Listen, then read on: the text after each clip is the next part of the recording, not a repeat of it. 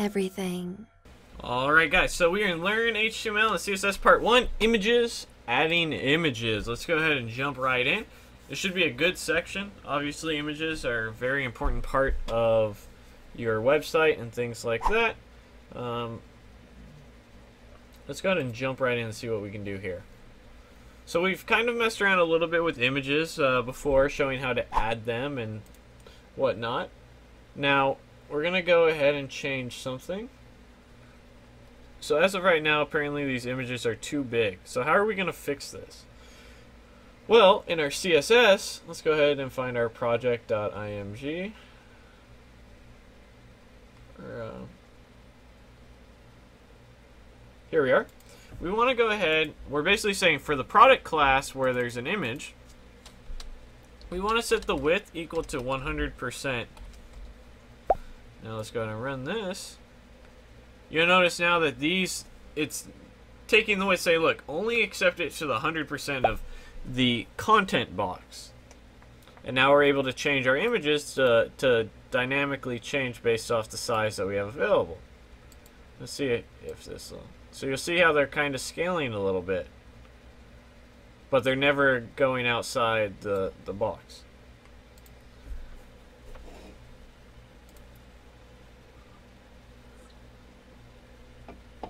Now you'll see that starts talking about some other stuff. Take a second to read over this. It mentions display block as well and the margin property and float. So we'll probably be using those right now.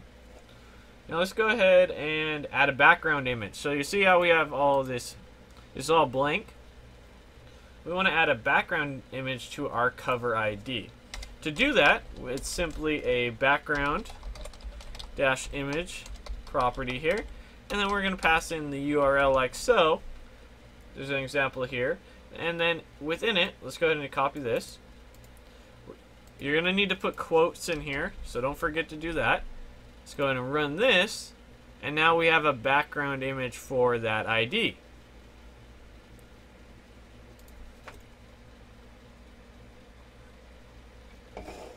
So, there's a couple things you can do here, although no repeat is probably the most likely one that you'll you'll be doing.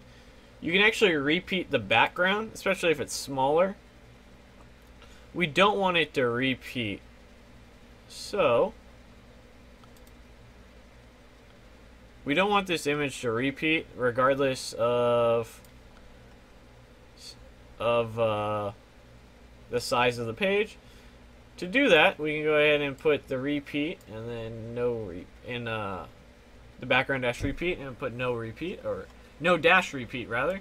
So let's go ahead and do that. So we have background dash repeat. No dash repeat. Now, if you have like a simple tile or something like that, where it's the same throughout, you're, you're gonna probably want to make that repeat, but that that's usually not too many sites nowadays. Now you'll see there's a whole bunch of positioning that we can do for this. Uh, you have left top, center top, right top, all these.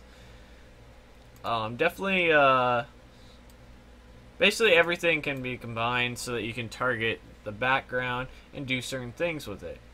So where do you want to position it? Right center. So what, what does right center come to? Right column, center row. Um, let's go ahead and see what they want us to do here. So we're going to position using background dash position this website to, oops, I put two, uh, top center.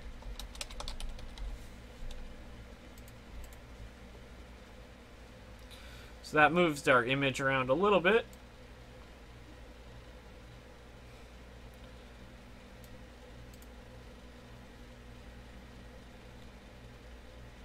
So we learned how to set up a background position, its rep repetition pattern, and um, how to position it.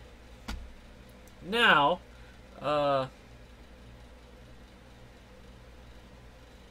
oh, they want us to uh, combine this as one. So similar to how we did before, uh, you can actually just call background instead of doing these properties one by one. Put in the URL first, then you're going to put in if you want it to repeat or not, and then finally uh, the position. So my suggestion is to always do it like this. Don't don't start separating out throughout various properties and things like that. You're just gonna create more if you can. It, it all it all depends on the situation, but that's the best way to go about it. Go about it.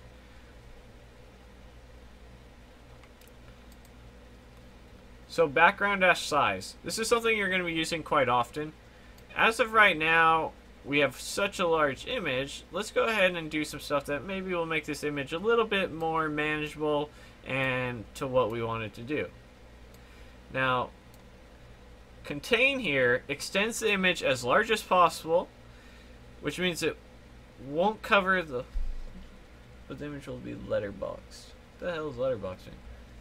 So cover will extend the full width or height of a container without distorting the image. So let's go ahead. I believe that's probably what they're gonna do here. Oh, they want us to, they want us to contain it. All right.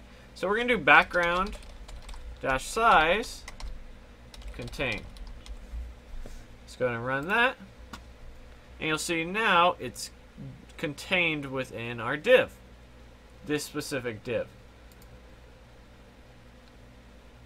So it doesn't make sense to use it, obviously. So what we're going to do here is go ahead and change it to cover because this looks much better. And you'll see that this image isn't distorted at all. And that's what cover does, is it basically will fill up the box, yet it won't distort the image.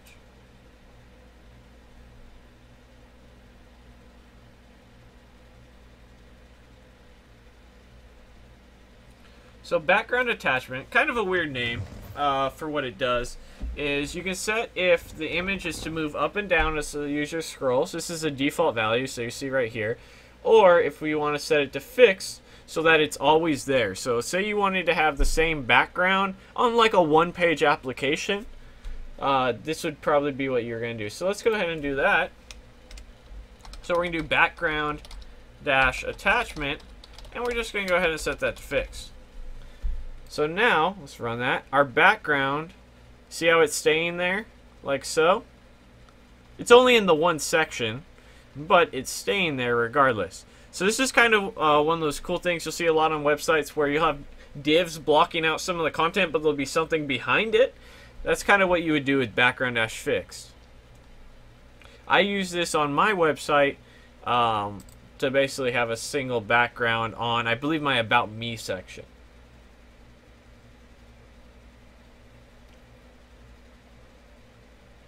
Alright.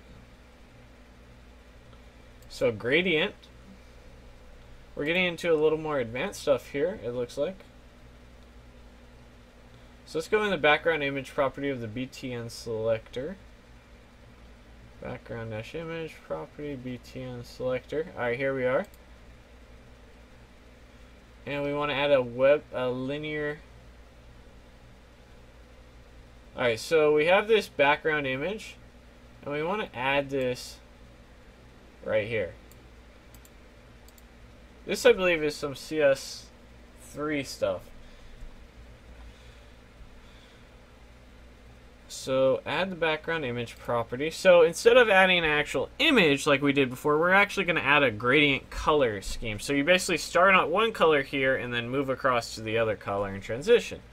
So in the BTN selector, here we are, we're going to go ahead and say, look, background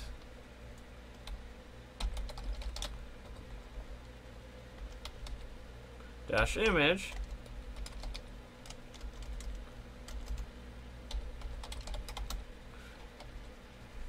And then the first color is going to be hashtag FFD 194 and I imagine you could probably do RGB, RGBA um, and then colors as well.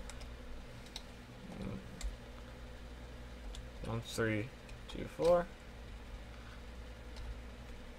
Gonna run this. So you see right here, we did a nice little gradient. So uh, it looks like it goes top to bottom. There's probably additional things that you can do to make it so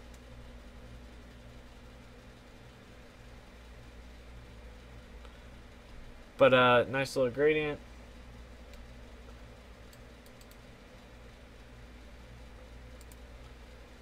Alright, so we learned quite a bit in this section about images. We learned how to how to set the width and the height so that things fit like they're supposed to. We learned about the background image, um, background repeat, background position. Um, we also learned that the background images support uh, color gradients like we did here, which is a cool way of making your uh, buttons look really nice um, if you're doing your own CSS. So uh, there's a bunch of these, um, what is it called, WebKit filters? Yeah, WebKit that you can look up and uh, find out more about. That's kind of the real introductory to just one. But as always, guys, thanks for watching. Don't forget to like and subscribe, and a special thanks to you uh, supporting me on Patreon. I'll see you guys in the next video. Thanks for watching the video. Special thanks to our sponsor, Dev Mountain. Definitely check them out at devmountain.com. If you're looking for a bootcamp that's in front-end development, iOS, or UX, go ahead and give them a shot. Tuition includes housing, so you can get up and go and fully immerse yourself in the program. As always, thanks for watching. I'll see you guys in the next video.